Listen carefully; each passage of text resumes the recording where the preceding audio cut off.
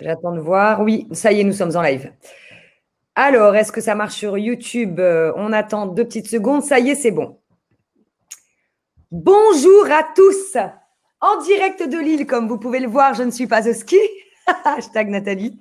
Je suis en doudoune parce que je suis dans une véranda et je suis une grande frileuse. Euh, bienvenue à vous tous. Aujourd'hui, un sujet hyper important. Non, je déconne. Le, thème du jour, le signe astrologique cancer. Quels sont ses, ses, euh, euh, son caractère principal euh, Comment fonctionne-t-il Comment le séduire ou la séduire Quels sont alors, on va parler de sexualité aussi. Quelles sont ces petites manies sexuelles, ces désirs sexuels Enfin voilà, un peu de tout. Avant de commencer tout de suite, Nathalie, ce que je propose, c'est déjà de demander euh, si vous nous entendez bien et vous nous voyez bien, parce qu'aujourd'hui, euh, j'ai pas l'impression qu'on ait une bonne connexion, euh, même moi de mon côté.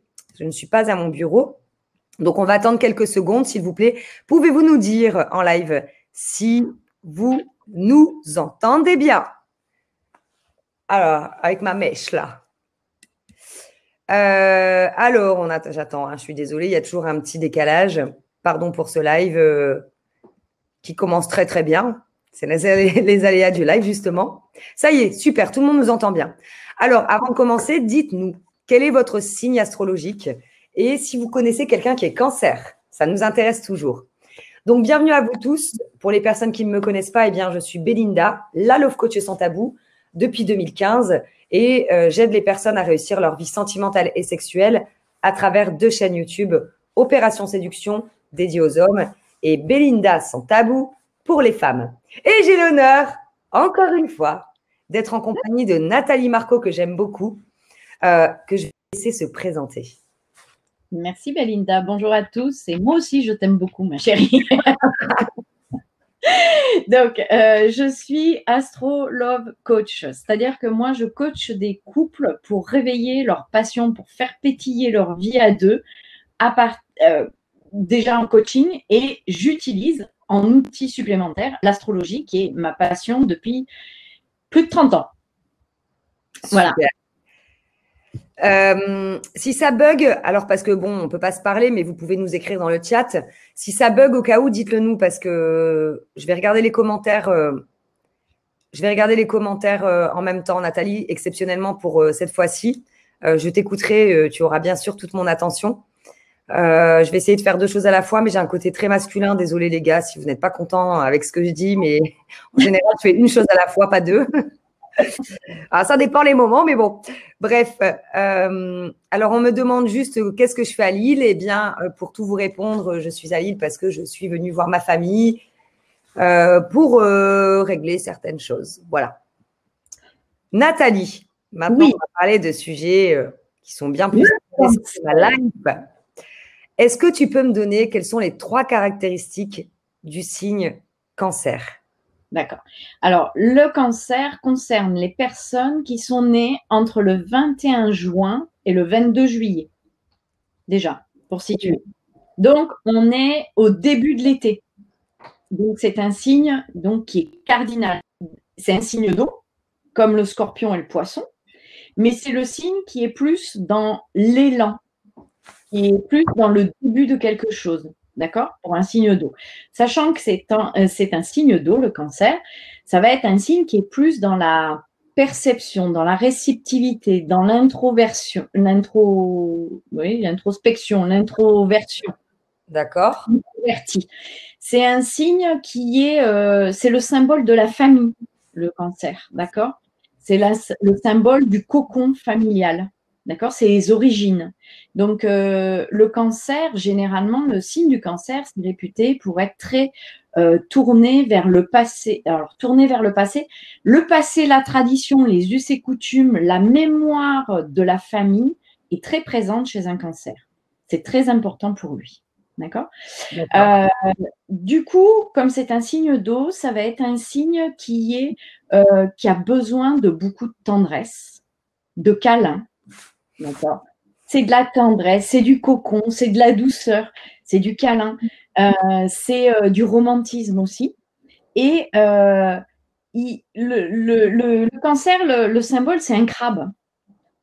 Donc, dès qu'il a peur, il rentre dans sa coquille. Il a hmm. besoin d'être en confiance pour se révéler, le cancer. OK? Donc, c'est un signe qui va être prudent dans l'engagement dans une relation. Il va prendre son temps pour aller jusqu'à la sexualité. Parfois, ça peut durer un petit moment. D'accord? Euh, c'est pour lui le sexe, ça va être une façon d'exprimer son amour, son émotionnel, et euh, tout ça dans un moment romantique. En fait, c'est une vraie fusion. Il faut qu'il y ait une, une symbiose, une comment on peut dire, une, une symbiose, une osmose, une connexion, une alchimie, connexion, une alchimie émotionnelle avec la personne pour qu'il puisse se révéler, qu'il se sente en confiance, pour qu'il puisse révéler vraiment euh, qui il est et ses envies et ses besoins, euh, notamment en matière sexuelle. OK? Donc, euh, à retenir sur un cancer, c'est la timidité, l'introversion et le côté euh, bah, besoin de confiance pour se laisser aller. J'ai une question qui me traverse l'esprit. Après, tu n'es pas obligé de répondre parce que c'était. Euh, ça, elle me vient là maintenant tout de suite. Euh, je ne sais pas si tu vas pouvoir y répondre en fait. Mais comment ça se passe pour un cancer s'il est. Parce que c'est vrai qu'une personne qui est introvertie ou timide, comment ça se passe si elle est avec une personne qui est extravertie Le contraire de soi? Est-ce que tu, tu saurais répondre à cette question ou on en parlera peut-être plus tard comme tu veux? Ben, on, en parlera notamment la semaine prochaine quand on fera les compatibilités. Oui, on les attend depuis longtemps. Voilà. Euh, mais c'est pour ça qu'un cancer et un bélier, par exemple, que le bélier, il est assez rentre-dedans, cancer peut avoir peur au départ. Parce que justement, euh, euh, trop rentre-dedans, tu vois. Donc, comment, comment est-ce qu'il va faire? Il, il, va peut-être. Le bélier, il faudrait, si si tu es bélier, si tu sais que l'autre, ou sagittaire, mais si tu sais que l'autre est cancer, euh, vas-y doucement. Prends sur toi, vas-y doucement. Prends ton temps. Et apporte-lui ce dont lui a besoin, enfin lui ou elle a besoin, le cancer hein, a besoin, pour, pour, la, pour le mettre en confiance. Parce qu'après, une fois qu'il se révèle, le cancer, il aime la passion aussi. Ouais. Tu vois, donc, une fois qu'il se révèle et qu'il est en confiance, il a besoin d'avoir euh, une histoire euh, qui est passionnée et romantique en même temps. OK? Ok. Donc, il est doux, introverti euh, et c'est quelqu'un, en fait, voilà, qui, qui, aime prendre son temps, mais n'empêche que c'est pas quelqu'un, forcément, c'est pas pour ça qu'il n'est pas passionné, si je comprends bien. Après, c'est quelqu'un, un cancer ne va pas ouvrir sa chambre. Euh, il a besoin d'un endroit sécurisant, qui connaît, qui le rassure. D'accord? Euh, Il ne va, il va pas ouvrir sa chambre à n'importe qui. Si vous rentrez dans la chambre d'un cancer ou d'une cancer, c'est que vous êtes une personne spéciale pour lui. D'accord? Euh, C'est à ce niveau-là que ça se monte. Et, et, le cancer va être c'est plus fort. Enfin, lui, il prendra son plaisir quand il vous aura donné du plaisir. Mais que ce soit une femme avec un autre homme, ou une femme cancer avec un homme, ou un homme cancer avec une femme. Il va d'abord se focaliser, son plaisir, c'est donner du plaisir. Ok, comme beaucoup de signes hein, quand même. Ouais. Ouais, mais moi je te dis beaucoup de signes, mais bon, comme toi, c'est toi la peau. Euh, tu vas me dire non, Béli, pas comme. Euh, pas, comme tout le monde. Si tu regardes toutes les 11 dernières vidéos, tu verras que non. Non, mais j'ai la sensation que tu l'as dit oui pour plusieurs signes, si tu veux. Euh. Donc, mais, euh, ça, forcément. c'est. Euh, je pense que je l'ai dit plus pour des signes comme le, poisson, par exemple. Tu vois? Et, hum, peut-être un peu moins pour le scorpion, même si ça peut. Tu vois, d'autres signaux d'eau. Oui. Euh, donc, il faut beaucoup de câlins et de tendresse avant et après l'acte. D'accord? Les préliminaires avec un cancer, c'est super important. Mais après, euh, il lui faut encore de la tendresse et des câlins. Quelqu'un de tactile alors, qui a besoin d'affection. Voilà, quelqu'un de très câlin qui a besoin d'affection. Ah. Alors, Pardonne-moi, est-ce que je peux deux secondes, s'il te plaît?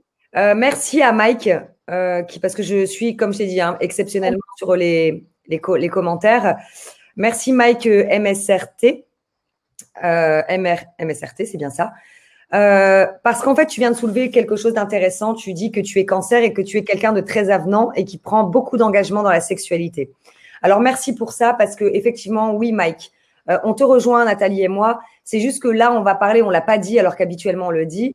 On va parler de généralité. Maintenant, chaque personne est unique. Tout dépend aussi euh, de votre thème astral, de votre ascendant.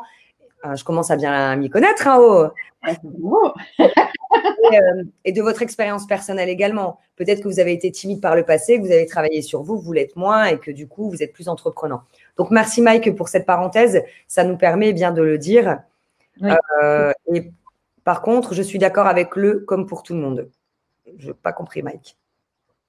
Mais euh, c'est vrai qu'on a oublié de le préciser. C'est vrai que là, on est sur dans la base de généralité. Après, il y a toutes les positions des planètes qui amènent des nuances.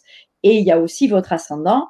L'âge que vous avez aussi, ça détermine beaucoup de choses parce que la vie a fait que vous avez grandi, travaillé sur vous. Ou alors vous avez fait du développement personnel et vous avez ou avec un thérapeute et vous avez avancé, vous avez changé un peu des choses. Euh, donc voilà. Donc ça c'est vraiment des généralités. On voit l'homme euh, cancer? Oui, madame. Donc euh, il a, il a, donc il a besoin de confiance, hein, bien sûr, l'homme comme la femme, de confiance. et une fois qu'il va avoir confiance en vous, en la relation, l'homme cancer va se livrer beaucoup plus facilement. D'accord? Sur son intimité. Il y a un côté secret quand même hein, dans le, cancer. Ce qui va aimer l'homme cancer, ça va être le côté un peu dominant pour être le mal qu'il aimerait être dans la vie, en fait. D'accord. Voilà. Qui, mais dominant soft. Hein. On n'est pas dans le côté dominant du scorpion. je vais vous apporter les nuances. Euh, euh, et, il a besoin, alors dominant dans le sens aussi où il a besoin d'avoir une partenaire qui va se laisser aller totalement à lui et que du coup il pourra enfin euh, s'exprimer et exprimer son côté mâle. D'accord? Mm. Euh, il, donc, il va aimer plutôt faire l'amour dans des endroits qu'il connaît, où il se sent en sécurité. Euh, il a besoin d'un espèce de havre de paix, un cocon. C'est cocon le mot qu'il faut retenir. C'est euh, le cancer, il aime sa maison, il aime son chez lui. C'est super important d'avoir son cocon. Comme donc, plus vous aurez de plaisir, plus il en aura. Et euh, il peut avoir comme fantasme, du coup, euh, le cancer, c'est l'enfance. Et l'enfance. Euh... je me fais bader là. Mais non. Je me fais l'enfance. Ok, madame, qu'est-ce qui se passe? Non, ça va le fantasme du. Alors, il va aimer les, un peu les, les, jeux de rôle. Il aime jouer le cancer. Il est assez joueur, mais ça va être plutôt, euh, il va aimer, par exemple, on est sur l'homme cancer, hein, on est d'accord? Euh, Il va aimer euh, que, par exemple, s'il doit éduquer une jeune écolière, tu vois? Ah, mesdames, si vous entendez cette vidéo, je dis souvent les uniformes. Alors, déjà au niveau masculin, d'ailleurs, je vais en faire une vidéo, mais c'est vrai qu'au niveau masculin, déjà, les uniformes, ça marche plus ou moins bien. Et, et c'est vrai que la petite écolière, petite écolière pas farouche. Ou, euh, ou alors, ça peut même être la maîtresse d'école qui va réussir à amadouer, tu vois. Voilà. Ok. Donc, plutôt fantasme du cancer, de l'homme cancer. S'il vous plaît, messieurs cancer, vous pouvez nous commenter. Hein. Pas que ça. Hein, mais... On a bien euh, connaître votre avis. Ensuite, on va parler donc de la femme cancer. Oui de ces fantasmes. Donc, on n'oublie pas, elle est romantique, elle est timide, elle est plutôt introvertie, elle va pas se révéler comme ça, et, euh, elle, a, elle, a, besoin de sécurité, de confort et de, et de, de confiance, d'accord, pour se révéler. Par contre, euh, euh, elle, ça va être plutôt dans le romantisme, vous y allez avec le lit, avec les pétales de rose, les petites bougies, une musique douce. Ça, c'est le genre d'ambiance, euh, des, préliminaires à n'en plus finir, des, câlins après l'acte aussi.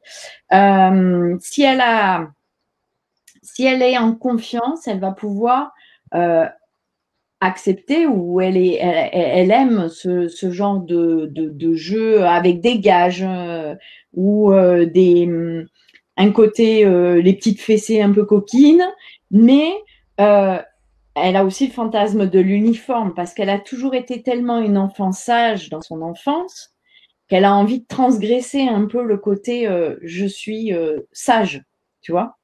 Et voilà. Mais attention, si euh, vous avez retenu un truc, c'est les petites fessées un peu coquines ou quoi, faut rester dans le soft. On n'est pas dans le sadomasochisme avec une femme cancer il y a besoin de mettre euh, les formes et qu'il y ait de la tendresse quand même, qu'il y ait du romantisme. C'est pas euh, du, du, trash. Ouais, ok. Oui, c'est quelque chose de plus, euh, on va dire, moins doux. Alors, moins doux que, tu sais, enfin, l'érotisme, les caresses tout le temps, un peu moins doux, mais ça reste tout autant sensuel et, et, et avec, avec bienveillance, j'ai envie de dire. Enfin, pas trash comme tu dis en fait pas hard. Euh. Et voilà, une fessée d'ailleurs, messieurs, petite parenthèse, je le dis comme ça. la fessée, euh, la fessée, il y a beaucoup, beaucoup de femmes qui adorent ça. Simplement, il faut savoir le faire parce qu'il y a des fois où ça peut faire très mal. Euh, il y a des femmes qui vont adorer, hein, avoir mal. Mais par exemple, avec une femme cancer, c'est bien aussi de, de, savoir comment faire parce que c'est pas forcément évident. Hein. Alors, je peux en parler comme ça librement. C'est pas forcément évident. J'avais déjà formé. bon, allez, je vais vous faire une petite confession. Dans ma jeunesse, dans ma jeunesse, enfin dans quand ma période de célibat, euh, j'étais avec, euh, enfin j'avais une relation avec une personne. Euh, voilà, c'était mon partenaire sexuel. Et, et donc, bah, je lui ai expliqué exactement comment faire la fessée. Voilà. Et c'était très important de le faire, sinon c'était c'était raté et c'est dommage parce que c'est quelque chose qui est très apprécié en règle générale, je dis bien, en règle générale par la jante féminine. Donc, messieurs, si vous voulez apprendre à mettre une belle fessée qui donne euh, vraiment euh, envie à, madame, rappelez-vous que j'ai fait une formation qui s'appelle L'art de faire l'amour à une femme. Je vous montre exactement comment vous y prendre. Voilà. Vous trouverez la description en dessous de cette vidéo ou au-dessus si vous regardez sur Facebook. Je tiens à préciser parce que c'est important la fessée érotique.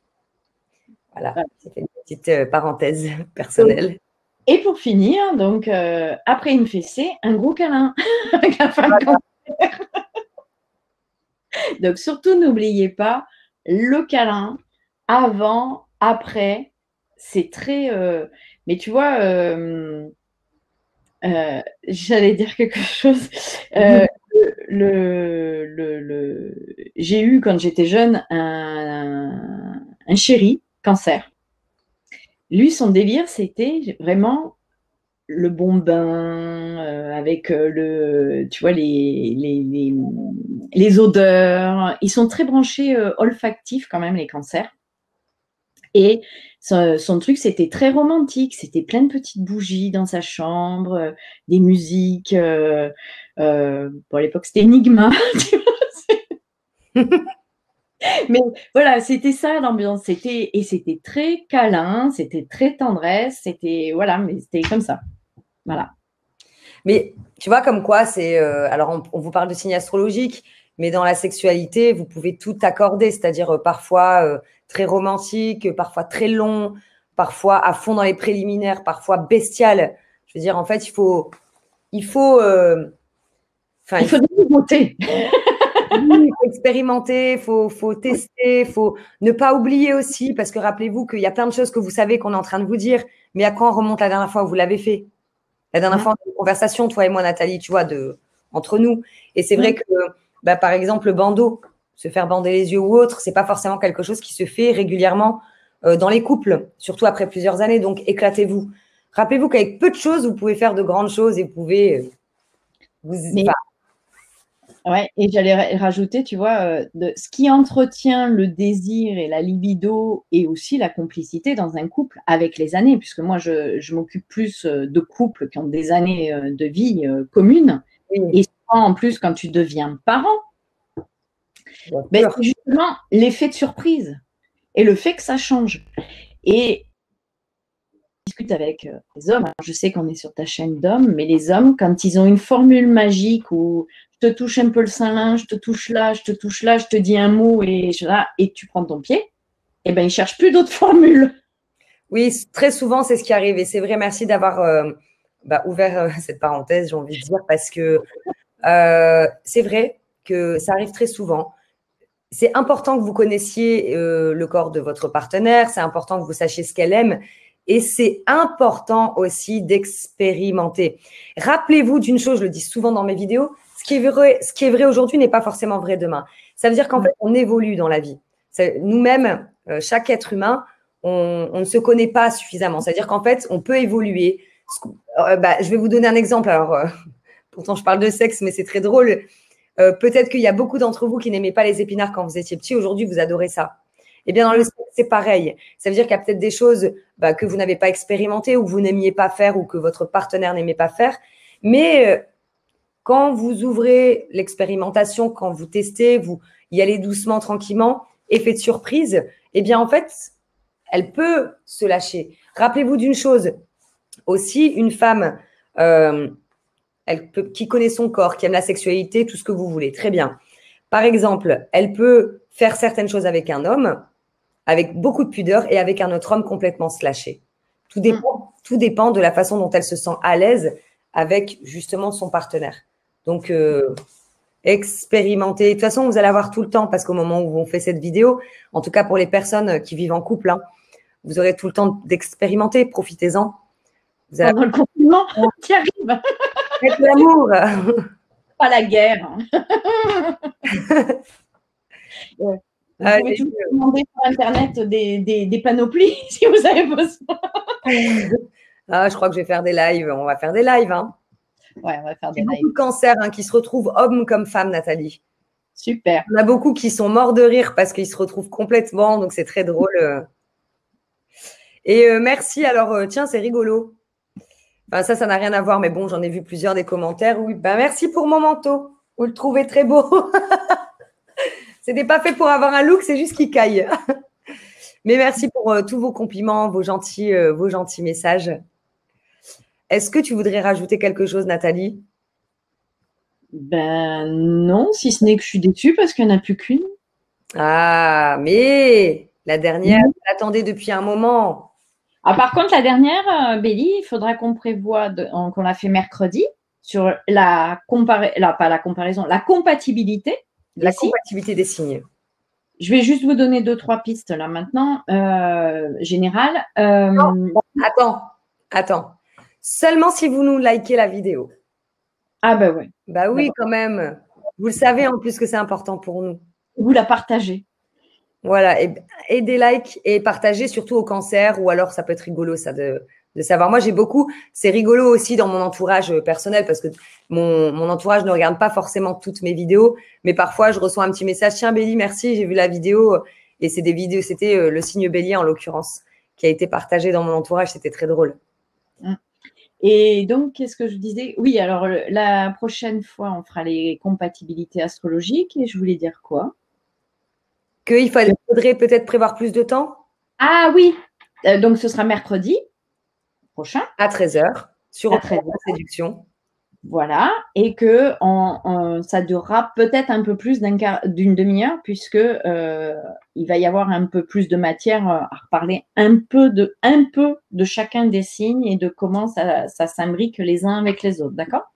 Donc c'est juste pour vous prévenir que voilà, et te prévenir aussi que ça durera un peu plus longtemps. Bien vu, merci beaucoup. Voilà. Et là, au niveau compatibilité, ils ont liké ou pas? Ils ont liké un petit peu. Mais un petit peu. La moitié. Ils sont timides. Et euh, donc, cancer, signe d'eau, s'entend avec les autres signes d'eau. D'accord? Euh, Donc, ça va être cancer avec un autre cancer éventuellement, ou avec un poisson ou avec un scorpion. Attention, le scorpion, tenez-vous quand même. voilà.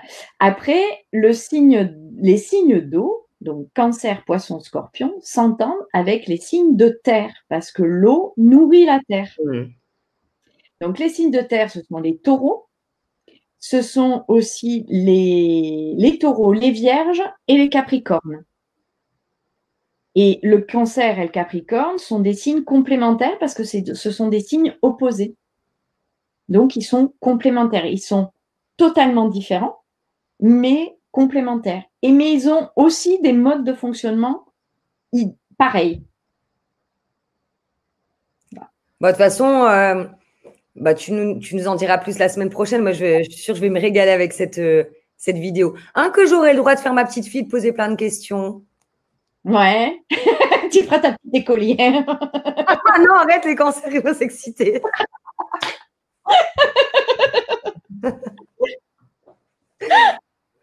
bon, euh, bah, écoutez, merci en tout cas euh, d'être euh, en live avec nous. Si vous regardez cette vidéo en replay, eh bien, vous allez la, vivre comme si vous étiez en live, hein, finalement. Vous le savez avec Nathalie, hein, on, est, on est comme à la maison. Prenez soin de vous pendant ce confinement et surtout, si toutefois vous voulez eh bien, vous avez du temps devant vous, vous avez envie euh, de connaître quelle est euh, vos compatibilités avec euh, votre partenaire, vous avez des questions par rapport à votre couple ou autre, rappelez-vous que vous pouvez tout à fait prendre une consultation avec Nathalie. Vous retrouvez la, description, enfin le lien sous cette vidéo ou au-dessus si vous regardez sur Facebook. Aussi, si vous, vous voulez vous former comme un pro ou une pro pour tout ce qui est thème astral, eh bien, Nathalie propose une formation en ligne. Je te laisse en dire plus si tu veux, parce que je l'ai peut-être très mal expliqué. Alors, c'est tous mes secrets de pro en 7h30 de vidéo. Je vous accompagne sur mon écran, je vous explique la théorie et je vous mets en pratique, je vous montre comment on fait pour interpréter un thème astral.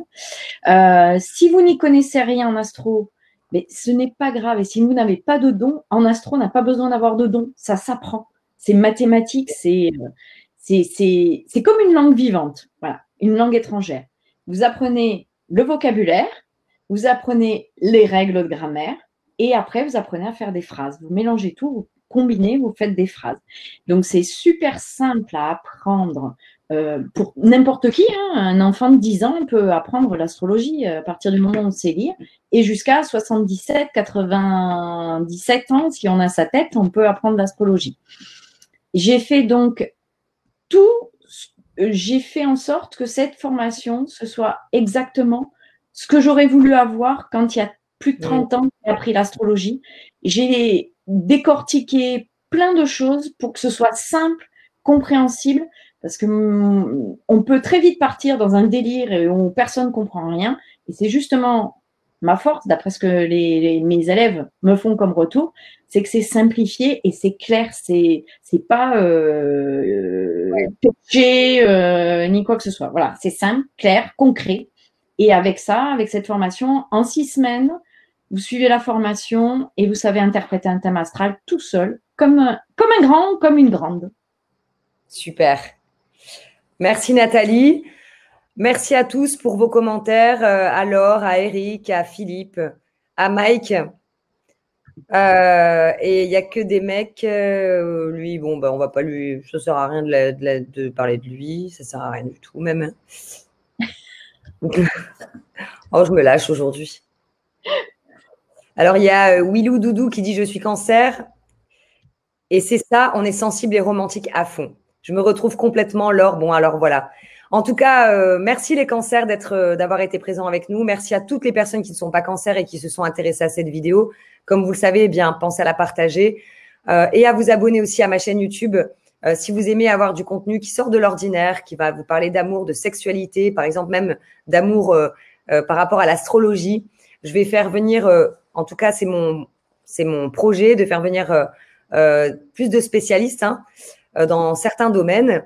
Et puis, ben, on vous dit donc à la semaine prochaine, mercredi à 13h. Pensez, si vous voulez rester en live avec nous, à prendre un petit peu plus de temps et prendre des notes. Toujours bien. Nathalie, merci infiniment en tout cas pour euh, cette dernière vidéo Astro, Sex et Love, qui n'est pas réellement la dernière puisqu'on se voit la semaine prochaine pour clôturer le bal. Prenez bien soin de vous et à la semaine prochaine. Gros bisous.